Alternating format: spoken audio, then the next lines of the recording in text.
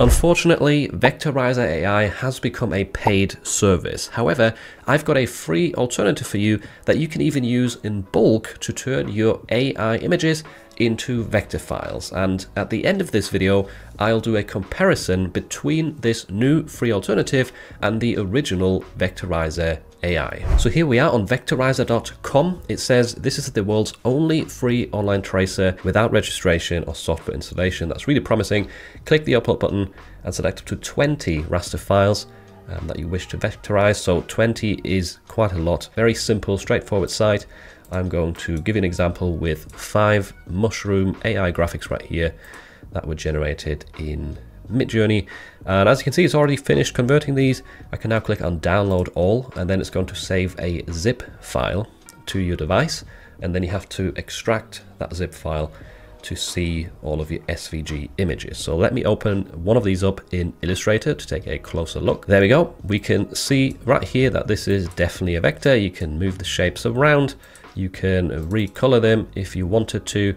And um, I can also easily delete the background move this off the artboard and you know as you can see we've got a pretty decent vector now this is a very very simple like flat graphic so in that case it's easier to turn it into a vector I suppose but that's why I've also done a comparison with this sunset graphic um, with a car and we've got on the left hand side vectorizer.com so this new free alternative and on the other side the previous tool vectorizer.ai that I've been recommending to this date Whilst I'm zoomed out, you can't really see a difference. Um, so the left side is slightly blurrier, um, as far as I can tell, but that probably won't even come through when you watch this on YouTube. So what I've done is I've also zoomed in a bit right here to take a closer look. So if we focus on the bonnet, um, especially on this outline right here, you can see if you compare these side by side that the paid vectorizer tool has a way smoother outline over here. This looks a lot better than this. So there is definitely advantages to using vectorizer.ai and paying for the subscription, but I think the left side, you know, it's not that much worse considering this is now free um, and you can use it in bulk. If you zoom out, like you can barely tell the difference. So it's up to you whether you want to invest into slightly better results or if you're happy with this free version.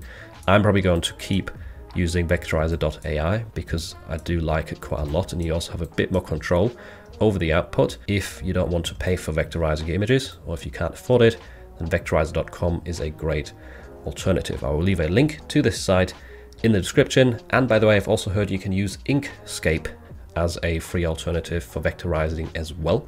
I haven't tested that yet but if you don't like vectorizer.com maybe try out Inkscape it's a downloadable software. It's a bit of an alternative to um, Illustrator, Adobe Illustrator.